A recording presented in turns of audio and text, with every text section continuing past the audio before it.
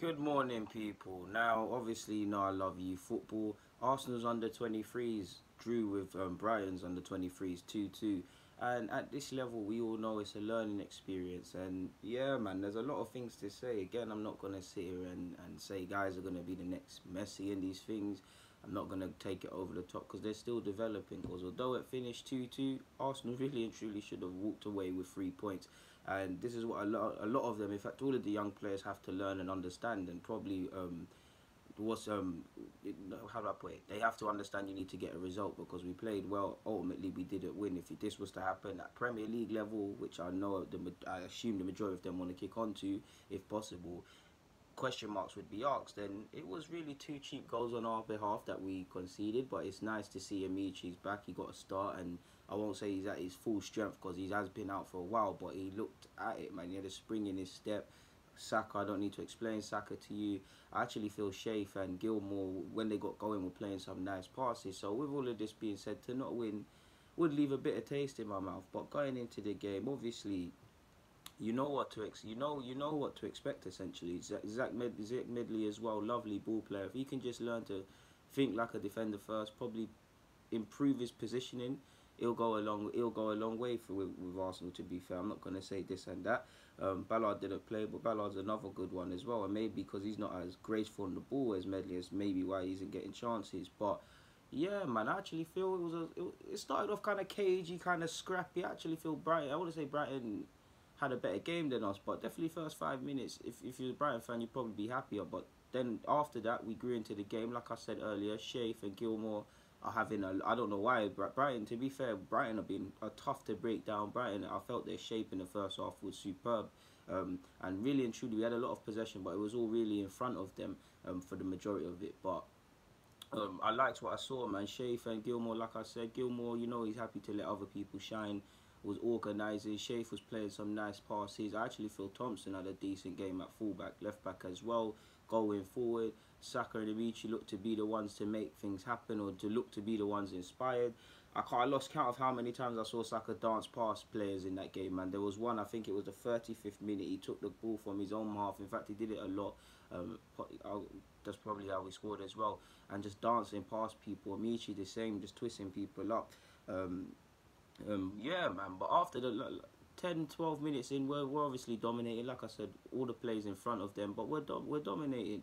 Um, there was a lovely bit of play between Amaechi and Saka, and a, a, lovely ball was whipped in, but no one was there to tap it in.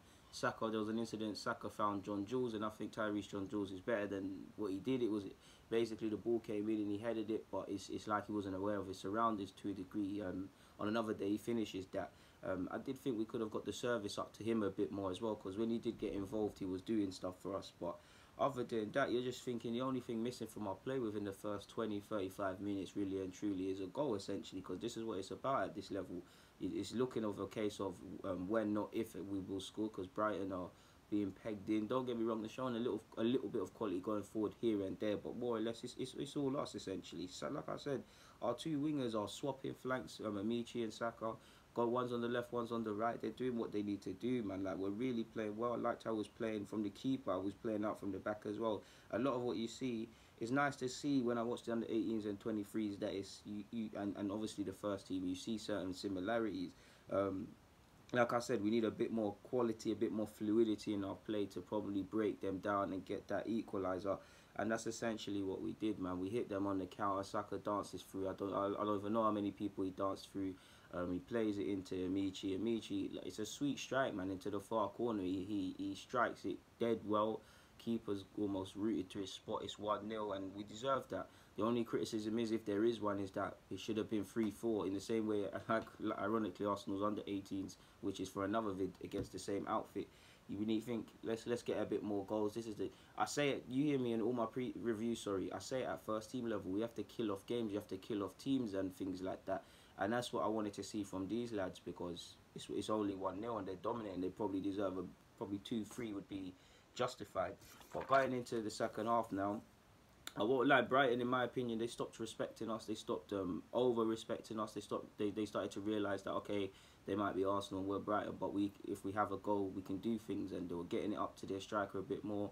They're having a bit more belief in on, on on their own abilities on the ball versus in the first half, it just looked like long balls or a hot potato. No one wanted to take responsibility, and I will say they kind of caught us. They were having a, they had a lot of opportunities in the opening stages of the first half that on another day might have went in.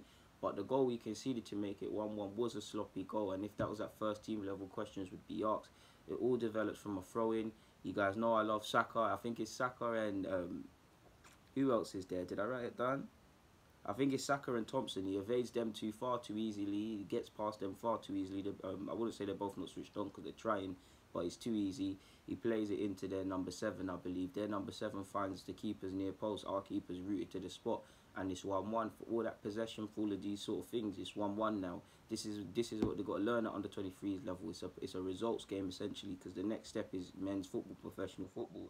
It's one one at this at this at this moment in time. But to a degree, we almost hit back instantly. Um, we, we I think we skimmed the poles. Tyreece played a lovely ball to Saka, and then Amaechi um, and um, and then it fell to Amaechi, and then it fell back to Saka. It was all partisan at the moment at that moment, but it's like neither could find this, any space to get a shot because they're being crowded out.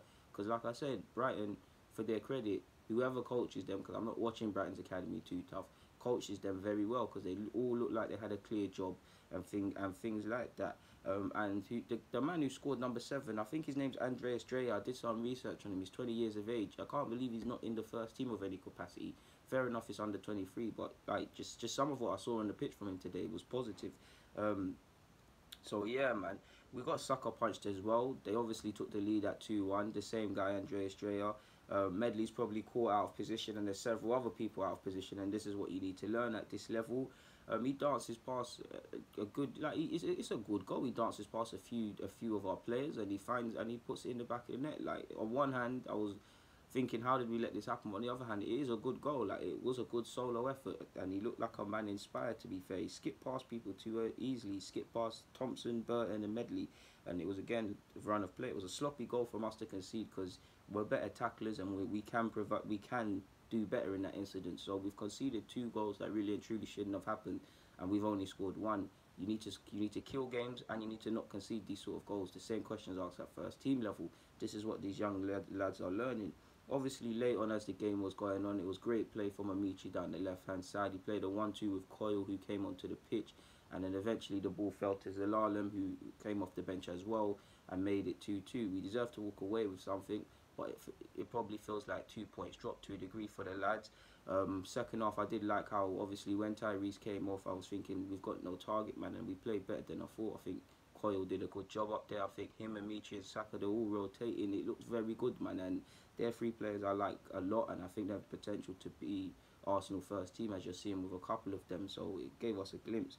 Um, like the formation. Um, it looked like a 4-2-3-1, but I must admit it did look like it was changing, so I don't really know. But um, yeah, man, it was a good game essentially, man. I felt Tyreece could have got a bit more service, like I said. Saka and Amaechi were men inspired, and they looked like they're serious prospects, like I said, which is why I love them both.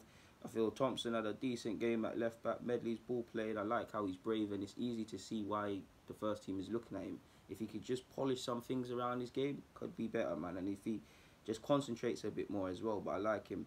I feel Sheaf, I, I don't know if he makes it here. He probably has to depart to get first team football. Hopefully, I'm wrong. Seems to be playing in midfield a lot versus at centre half, which was last year in that, even though he's a centre midfielder by trade, and I like him.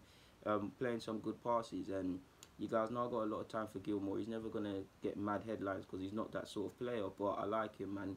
Um, yeah, I think it was a good performance, but there's clearly several things we could have done better because for all the possession and the chances and the lovely play, we didn't walk away three points. But what more can I say?